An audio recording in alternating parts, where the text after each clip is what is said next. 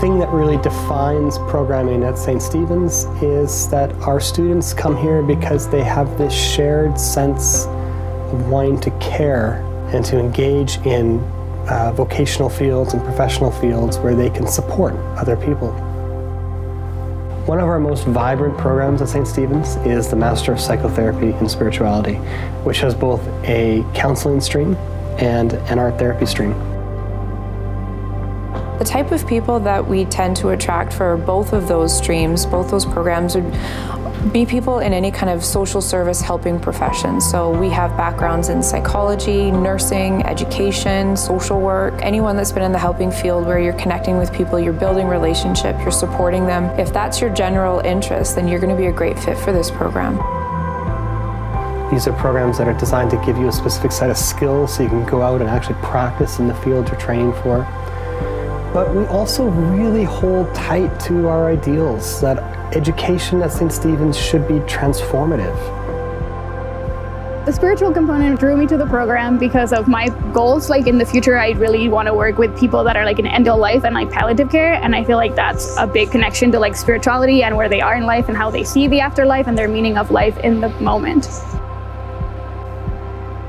The program itself talks a lot about spirituality and like respect our cultural backgrounds and like we talk a lot about cultural competencies and like how to work with diverse community, which I really do value a lot. You do a lot of self-reflection, uh, you position yourself, you make connections with clients, and you help them achieve that balance in life of that physical wellness, mental health, emotional, social, and spiritual health.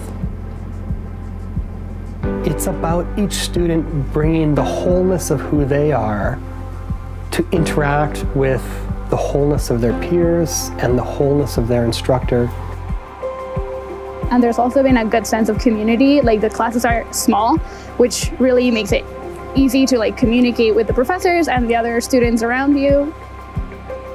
Having such a intimate community with the teachers and classmates, like I was able to actually learn a lot from the teachers' experience and like their clinical practices, and also with like such diverse background classmates, I've got to know more about like Canada. During the professional art therapies course, we had a time where we like role played being the therapist and the client in like different scenarios. So like it was a space where as the therapist, like as someone that hadn't actually been in that role before, we could actually use some of the interventions and like practice some of the skills that we've learned to help people with the problems that they were coming up to us with.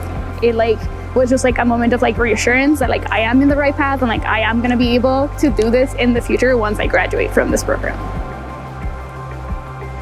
I think experiencing those directives and experiencing counseling and processing your own inner workings before you go out and support other people with processing their their background, their traumas, their relationships and supporting them in their growth, I think is an integral part to being an effective, compassionate therapist. St. Stephen's really is a wonderful learning community and it's such a pleasure and a delight to be a part of it.